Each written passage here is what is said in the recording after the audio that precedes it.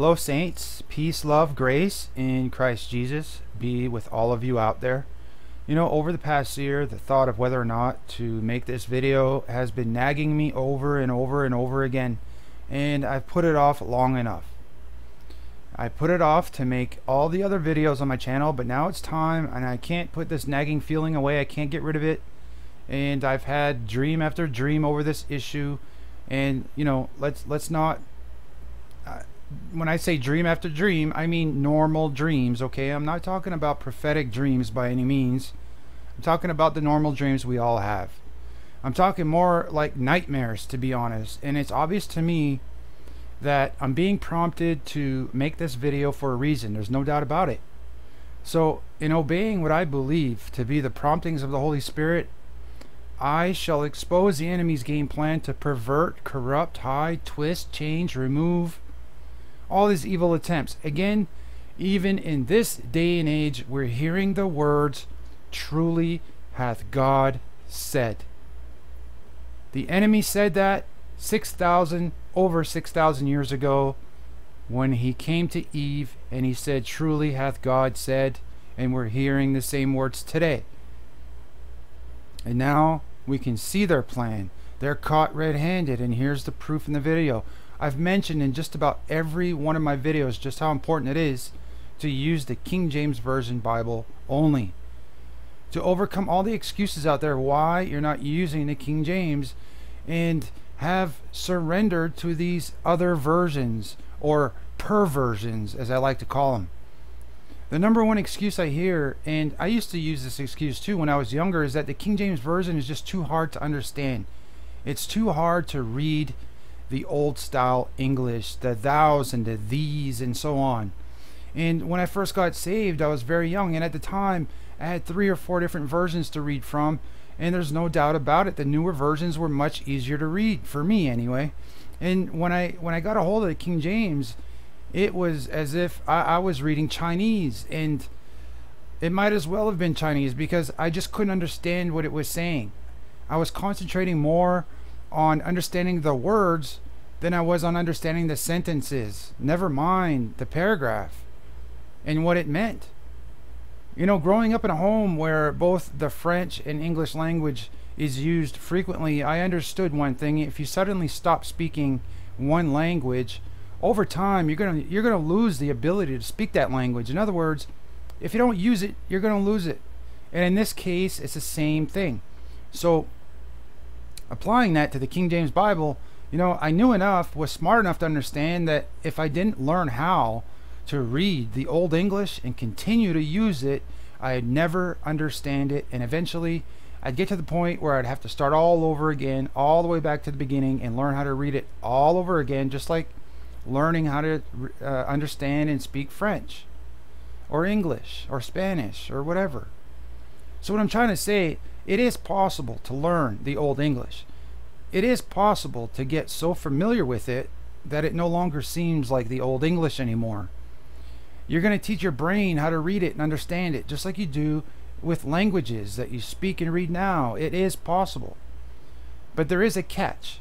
Once you learn how to read it and understand it, you have to keep using it. Don't go back to the old habits of taking the easy way out.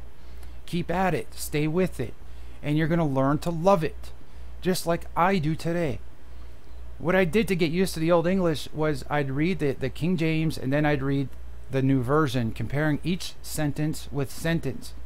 And over time, I became less and less dependent on the newer version. I got to the point where all I was using was the King James, and I stuck with it.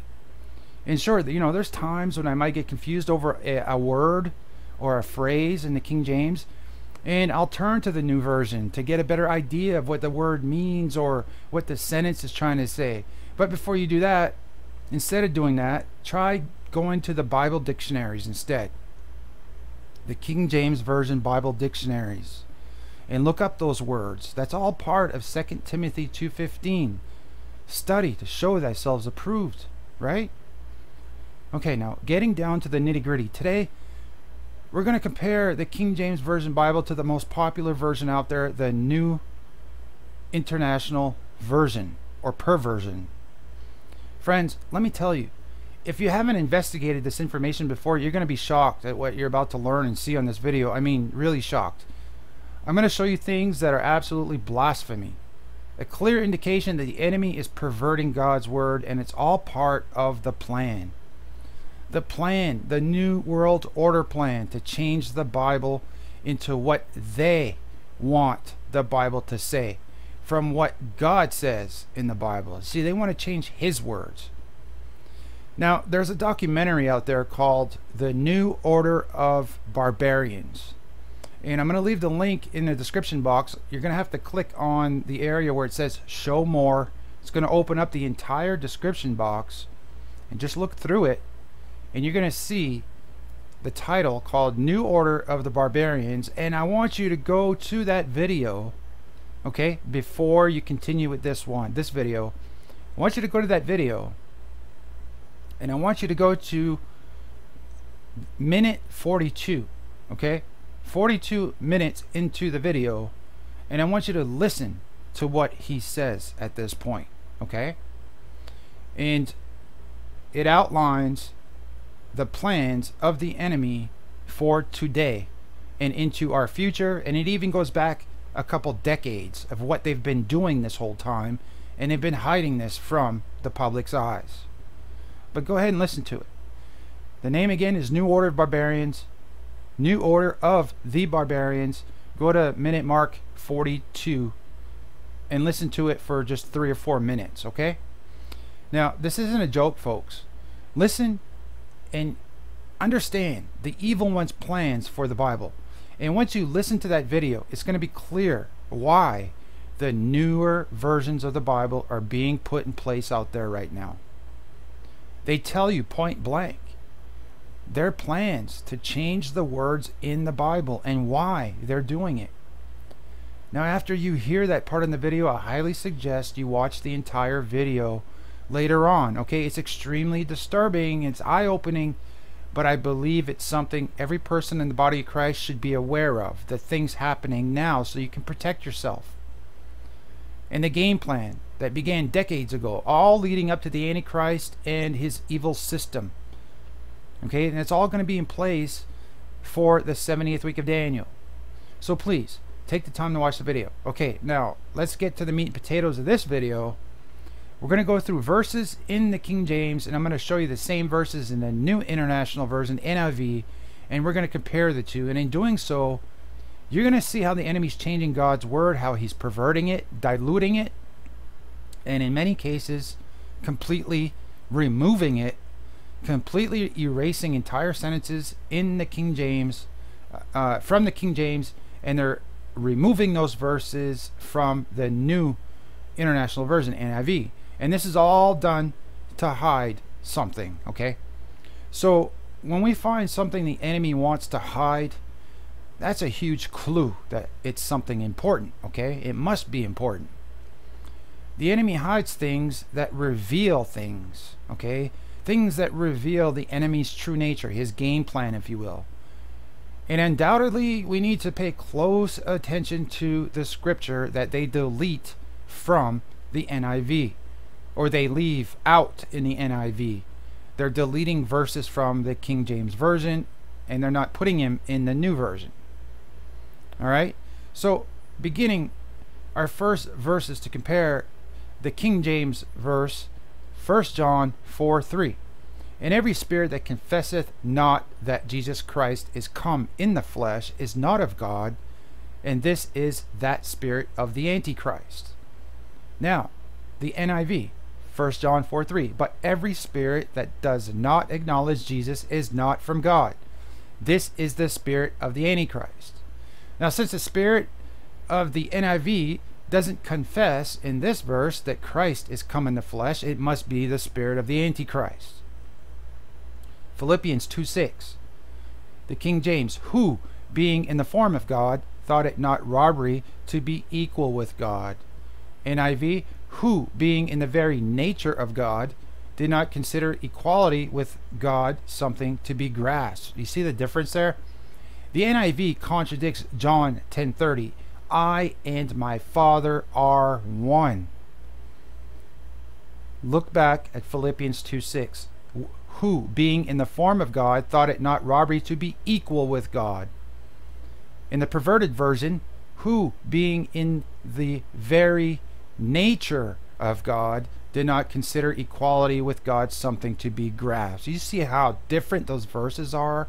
Completely two meanings. Again, it's a clear attempt at removing Jesus from the Trinity, trying to remove Jesus from the Father, trying to put space in between Jesus and the Father, making Jesus unequal to the Father.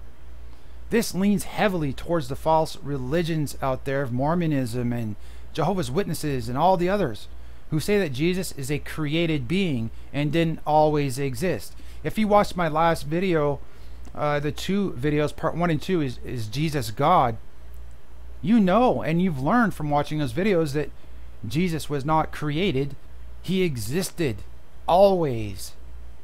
He's always existed. He was in the Old Testament.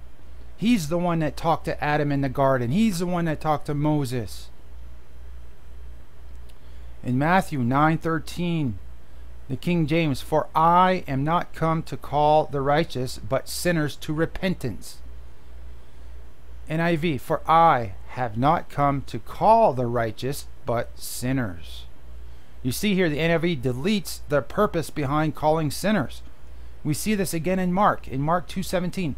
I came not to call the righteous, but sinners to repentance. In the NIV, I have not come to call the righteous, but sinners. Again in John, John 6:47, He that believeth on me hath everlasting life.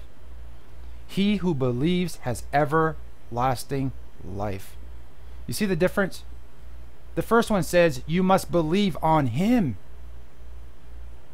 And the perverted version says you just have to believe. It doesn't care who you believe on. You just got to believe has everlasting life. Believe in what? Believe in what? Revelation 22:14 Blessed are they that do his commandments that they may have right to the tree of life and may enter in through the gates into the city.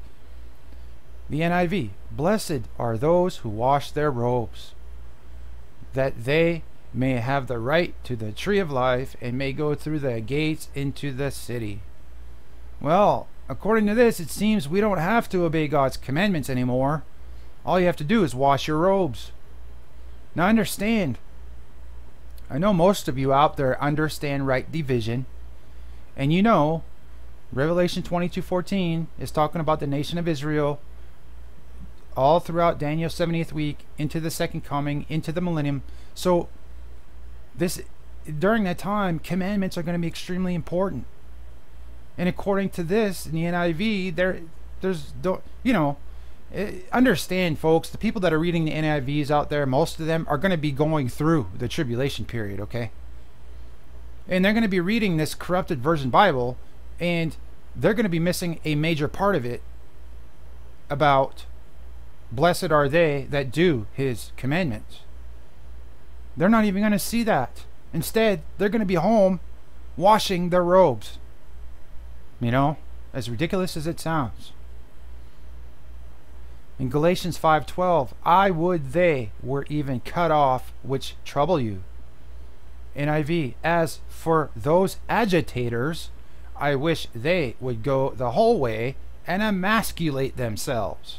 Where in the world did they come up with that? The King James, Paul says that the legalistic troublemakers should be cut off.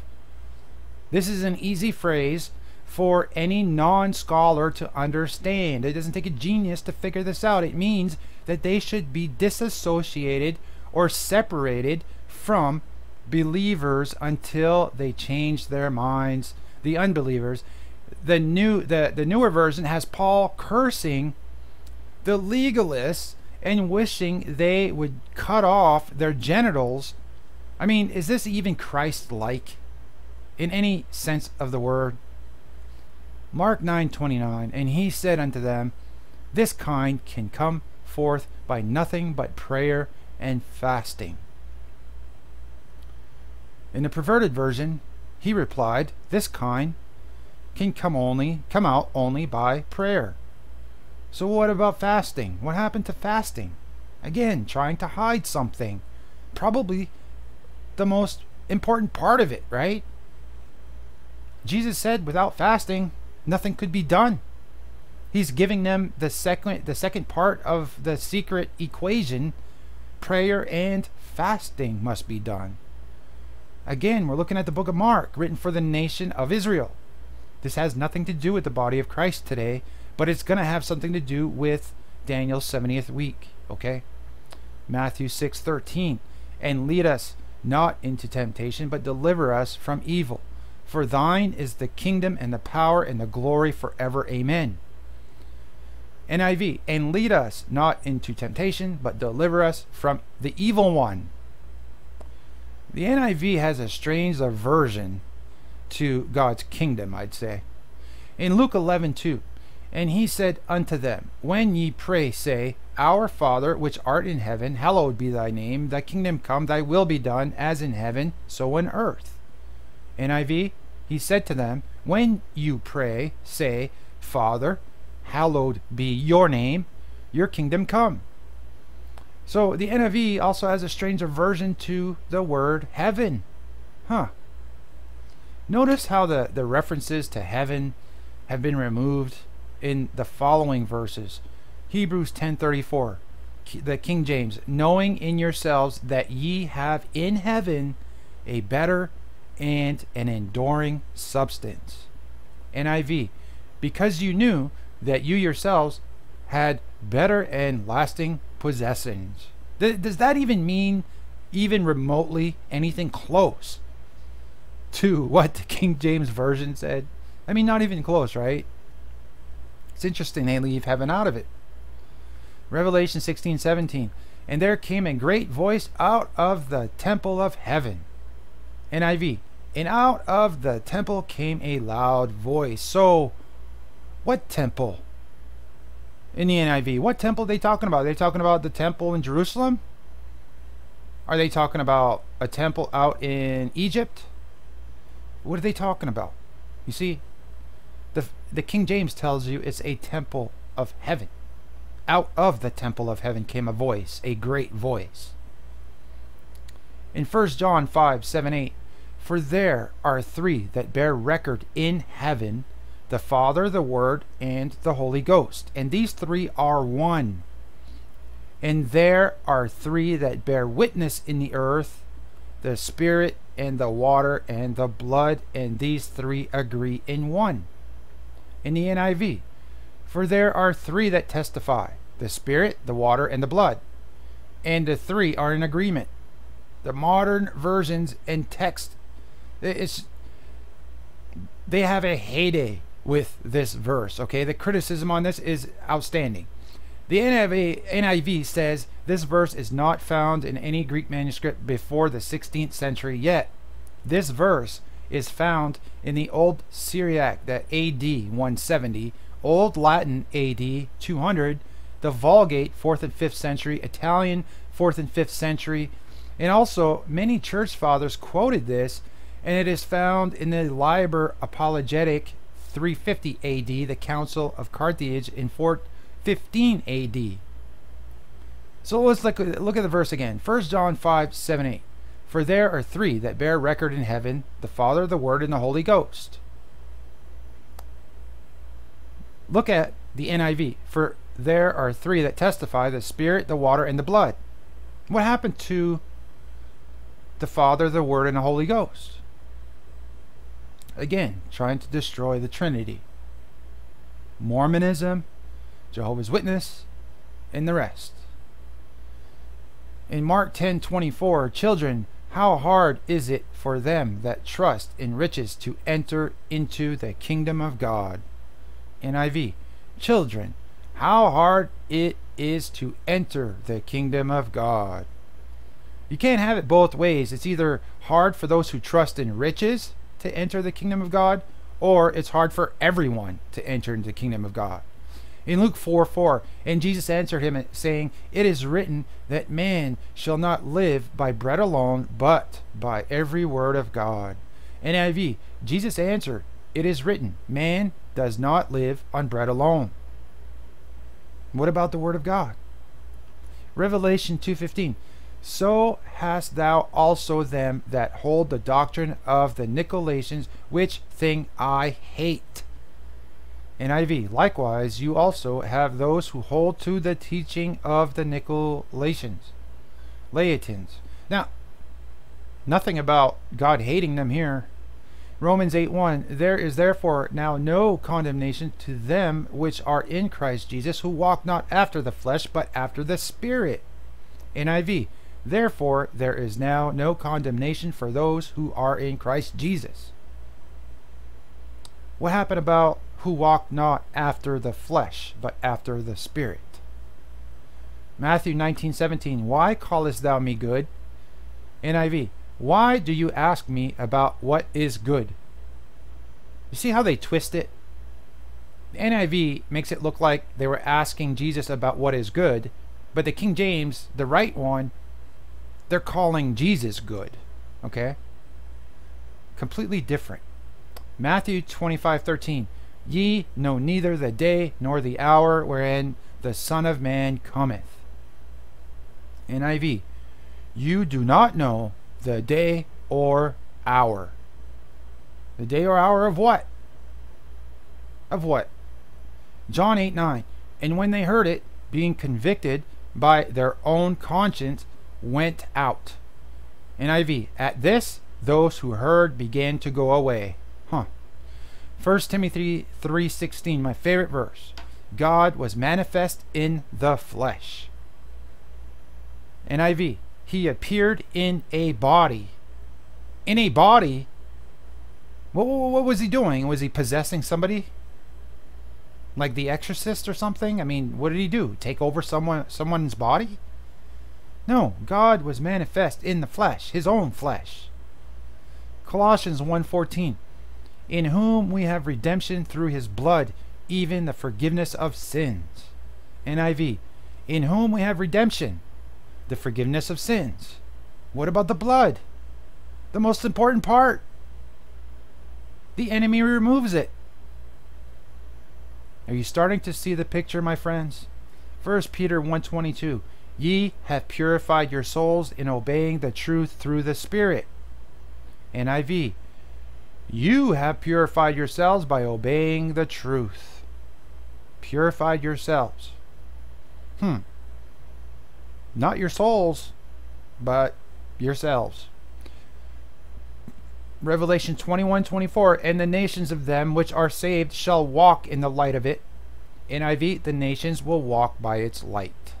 Nothing about the nations of them which are saved.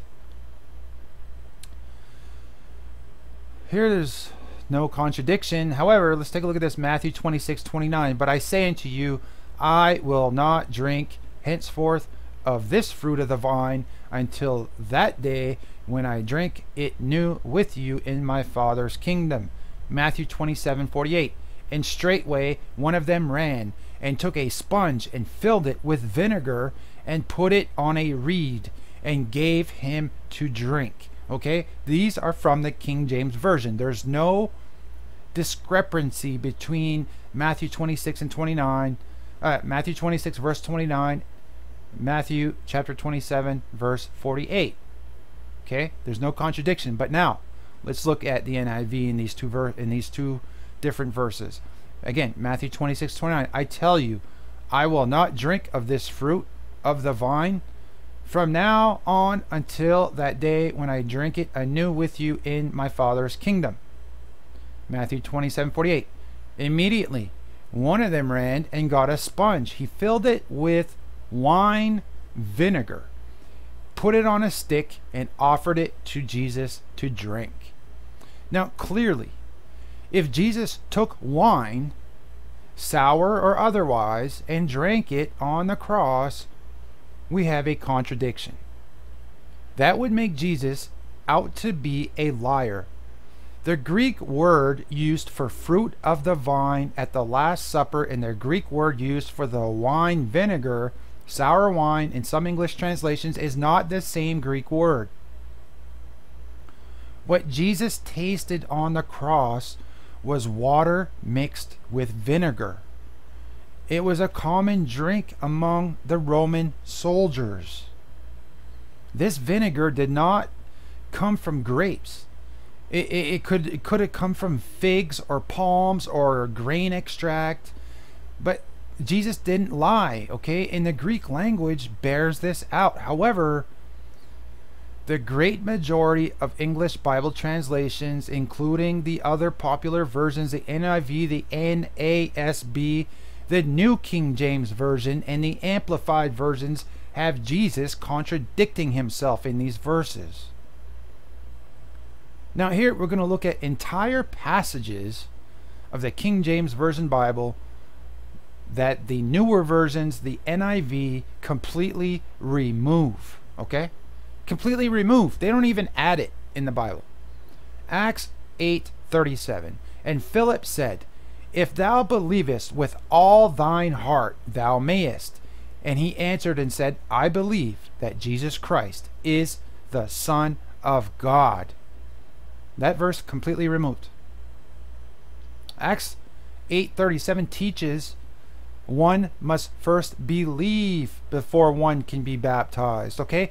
And again, folks, keep your right division radar on, okay?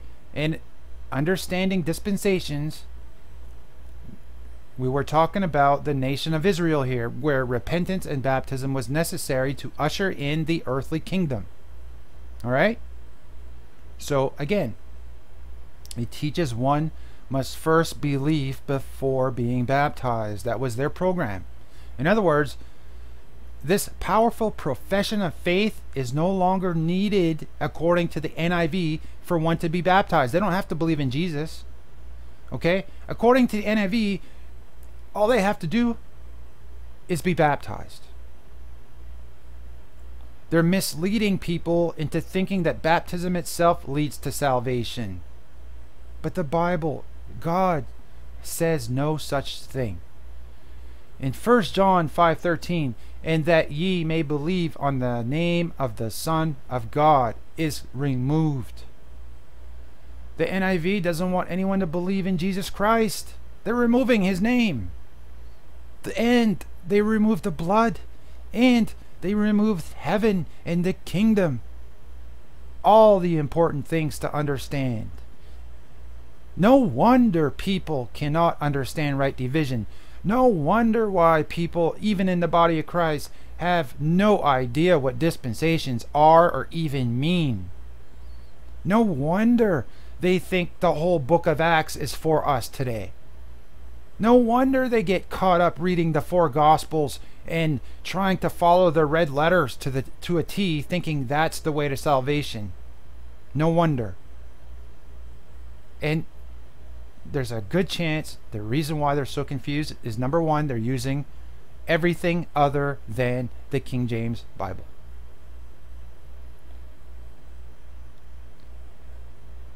Mark 11, 26. But if ye do not forgive, neither will your Father which is in heaven forgive your trespasses. Completely removed. Nobody will receive forgiveness from God if they don't forgive others. Why does the NIV hide this fact? Again, we're talking about the gospel of the nation of Israel. Okay? Matthew 18 11. For the Son of Man is come to save that which was lost. Completely removed. Not even added in the NIV. Now understand, going back, you know, when when we when I looked at uh, Mark 11:26, it says, But if ye do not forgive, neither will your Father which is in heaven forgive your trespasses. Okay, we know Mark, the gospel, was all about the nation of Israel all about the gospel of the coming kingdom, okay? Has nothing to do with the body of Christ, all right? We don't need to forgive others in order to be saved. That's not our gospel. So, but they remove this, they don't add it in the NIV, okay? So, what does that mean? Well, we know that once the church is removed, the body of Christ is removed in the rapture, God's going back to the gospel of the kingdom. And everything you see in the book of Mark, uh, all the four Gospels, all the latter books, including Revelation, uh, you know, Peter, John, James, Jude, all those are going to apply during the seven year tribulation period. People will have to know these things. But how are they going to know if they're reading the NIV or the other version? You know what I mean? Mark 15 28. And the scripture was fulfilled, which saith, And he was numbered with the transgressors. That, that, that's completely removed. Acts 23 9. Let us not fight against God. Removed. Romans 13:9 Thou shalt not bear false witness. Removed. Luke 17:36 Two men shall be in the field. The one shall be taken, and the other left. Completely removed. And this has to do with the second coming. At the second coming, God's going to send his angels. Two men will be in the field, one will be taken. The one taken is the same as it was back in Noah's day, the same as in Noah's day, okay? One that's taken is the one that was taken away to death.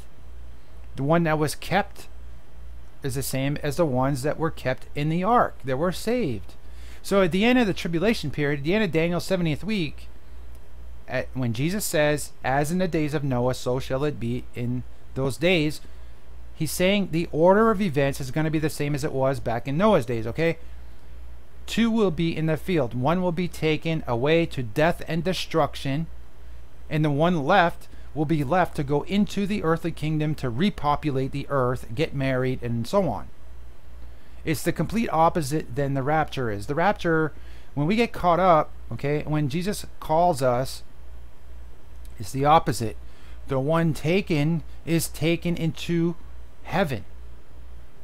Okay? We're removed before the tribulation period.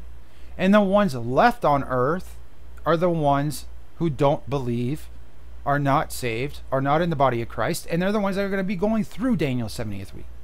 Okay? The rapture is completely opposite than the second coming events in the order of things. In Luke 4 8, get thee behind me, Satan. Famous verse, completely removed. 1 Timothy 6 5, from such withdraw thyself, completely removed. Matthew seventeen twenty one howbeit this kind goeth not out but by prayer and fasting, completely removed. Jesus said prayer and fasting are important for fortifying faith and the NIV obviously doesn't agree with Jesus, so they just delete his teaching. Matthew 23 14. Woe unto you, scribes and Pharisees, you hypocrites! For ye devour widows' houses, and for a pretense make a long prayer. Therefore ye shall receive the greater damnation. Completely removed.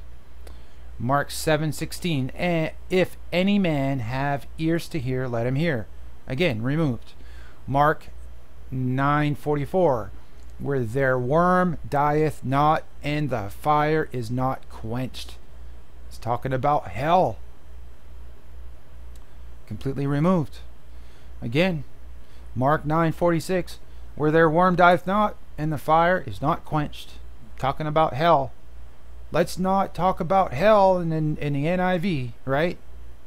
Let's not Let's not tell the people what's waiting for them if they don't get saved, right? We don't want them to know that. No. Let's just think they're going to evolve. They're going to reincarnate and come back to the earth as, you know, a plant. If they're not good. Ridiculous. Luke 23 17 for of necessity in in the brackets for of necessity he must release one unto them at the feast that is removed. John 5 4 for an angel went down at a certain season into the pool and troubled the water. Whosoever then first after the troubling of the water stepped in was made whole of whatsoever disease he had completely removed. Acts 15:34 notwithstanding it pleased silas to abide there still removed Acts 24 7. But if but the chief captain Lysias came upon us and with great violence took him away out of our hands. Removed. Acts 28 29. And when he had said these words, the Jews departed and had great reasoning among themselves. Removed. Romans 16:24 The grace of our Lord Jesus Christ be with you all. Amen. Removed. Why would they remove that? The grace of our Lord Jesus Christ be with you all. Amen. Why? Was that too hard to understand? Or something? I, I why? Why? Why not? Why didn't they put that in NIV? I don't get it.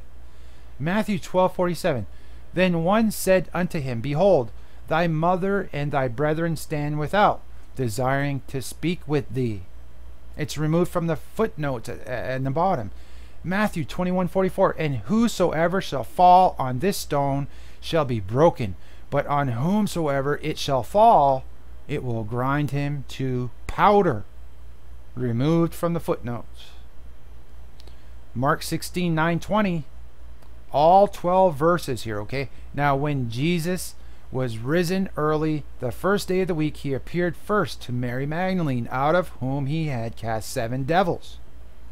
And she went and told them that had been with him as they mourned and wept. And they, when they had heard that he was alive, this is about his, and had been seen of her, his resurrection, folks, believed not.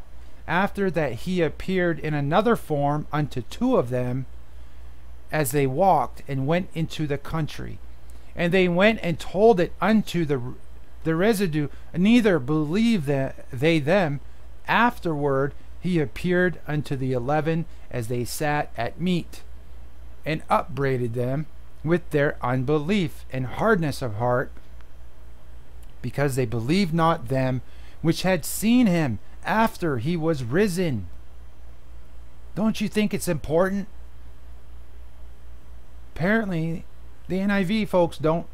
And he said unto them, Go ye into all the world and preach the gospel to every creature. He that believeth and is baptized shall be saved. Again, the gospel to the nation of Israel about the earthly kingdom. But he that believeth not shall be damned. And these signs shall follow them that believe. In my name shall they cast out devils. They shall speak in new tongues. They shall take up serpents. And if they drink any deadly thing, it shall not hurt them. They shall lay hands on the sick, and they shall recover. So then, after the Lord had spoken unto them, he was received up into heaven, and sat on the right hand of God. And they went forth and preached everywhere, the Lord working with them and confirming the word with signs following. Amen. Removed from the footnotes. There's a line separating the last 12 verses of Mark from the main text. Right under the line it says the two most reliable early manuscripts do not have Mark 16 9 through 20. And that is in the NIV 1978 edition. Luke 22 43 to 44. And there appeared an angel unto him from heaven, strengthening him. And being in an agony, he prayed more earnestly, and his sweat was as it were great drops of blood falling down to the ground. Removed in the footnotes. John 7 53 and 8 11. All 12 verses, and every man went unto his own house. Jesus went unto the Mount of Olives, and early in the morning he came again into the temple, and all the people came unto him, and he sat down and taught them. And the scribes and Pharisees brought unto him a woman taken in adultery. And when they had set her into the midst, they said unto him, Master, this woman was taken in adultery in the very act. Now Moses in the law commanded us that such should be stoned. But what sayest thou? This they said, tempting him, that they might have to accuse him. But Jesus stooped down, and with his finger wrote on the ground as though he heard them not. So when they continued asking him, he lifted up his head and said unto them, He that is without sin among you, let him first cast a stone at her. And again he stooped down and wrote on the ground. And they which heard it, being convicted by their own conscience, went out one by one, beginning at the eldest, even unto the last. And Jesus was left alone. And the woman standing in the midst, when Jesus had lifted up himself and saw none but the woman, he said unto her, Woman, where are those thine accusers? Hath no man condemned thee? She said, No man, Lord. And Jesus said unto her, Neither do I condemn thee. Go and sin no more. Removed from the footnotes. Now, the following are corruptions in the Old Testament. In the modern Bibles, not only NIV. In Isaiah 14:12, How art thou fallen from heaven, O Lucifer, son of the morning? How art thou cut down to the ground, which didst weaken the nations? Isaiah 14:12 How you have fallen from heaven, O morning star, son of the dawn. You have been cast down to the earth, you who once laid low the nations. If we look in the NIV, we'll never know anything about Lucifer because they remove his name. It doesn't appear. The NIV changes Lucifer into the morning star, which is Jesus. But this is one. Morning star is a blessed title given to our Lord Jesus Christ. And the NIV, calls Lucifer the morning star. Okay? If that's not enough, folks, I don't know what else. I, I mean, if your NIV is calling Jesus Christ Lucifer and you're still using it, or if there's any preachers out there using the NIV saying there's nothing wrong with it, but the same NIV is calling our Lord Jesus Christ Lucifer?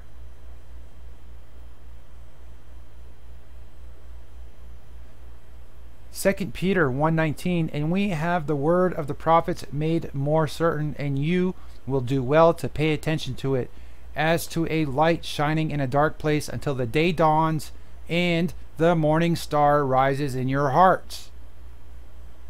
In defining just who this morning star is, we need to look at several references in both the NIV and in the King James. In Revelation 2:28, and I will give him the morning star. NIV, I will also give him the morning star. Revelation 22:16, I Jesus have sent mine angel to testify unto you these things in the churches. I am the root and the offering of David and the bright and morning star. NIV, I, Jesus, have sent my angel to give you this testimony for the churches. I am the root and the offspring of David and the bright morning star. So both the NIV and the King James identify the morning star as being Jesus. If a person is to accept the NIV as the Word of God, then they must also accept that Jesus, who was cast down from heaven to the earth in the event described in Isaiah 14:12, is none other than Lucifer as well. Hosea 11:12, but Judah yet ruleth with God and is faithful with the saints. NIV, and Judah is unruly against God, even against the faithful Holy One. Daniel 3:25 He answered and said, Lo, I see four men loose, walking in the midst of the fire, and they have no hurt. And the form of the fourth is like the Son of God. NIV, he said, Look, I see four men walking around in the fire, unbound and unharmed. And the fourth looks like the Son of the Gods. Uh, G O D S. Is Jesus the son of many gods? Saints, I could go on and on in this video for hours and hours showing you just how corrupt the new versions are. But, you know, for today, I've shown you the most popular of the new versions, the NIV. According to the statistics out there, the NIV is the most used Bible version in the world. That means the most people out there are reading and believing the NIV, which, which calls Jesus Lucifer, the corrupted version. They're me- they're messing with God's words, and these people are believing lies. No wonder why there's so much confusion out there, friends. I hope this video has opened your eyes. I pray that this video will shock you enough, just enough, so you can, you know, you now see that NIV and the ASVB and all the other ones out there are, are absolutely corrupted and perverted for a reason. Okay, and we've just shined God's light on this. Learn to use the King James Version and stick to it. Read it, learn it, bury it in your heart. You know, soon the King James Version, in my opinion, will be illegal to own. And if you're laughing, it, it's already illegal to own in many parts of the world right now. Don't think it's not coming because it is. It's not going to be found online and it's suddenly going to vanish. And if you listen to the video that I recommended earlier, you'll know why they get rid of the King James Version. And it's happening little by little right now. Slowly, they're removing God's true words. Then they'll give you Satan's words instead. Okay, which are you going to believe? Again, the video link is in the description box, and you're going to have to click on Show More. All right, then look through, and you're going to see a link in the video called The New Order of Barbarians, and go straight to minute mark 42. 42 minutes into the video and listen to what he says about the Bible and their plans for Christians. What would you do if the King James Version Bibles suddenly vanished off the face of the earth? Would you know the truth? Would you know God's Word? Or would you be easily fooled into believing the lies? It's coming, folks. It's coming faster and sooner than you think. Thanks for studying with me, saints. Love, peace, grace, and Christ Jesus be with all of you. And I shall see you at our gathering or on the next video.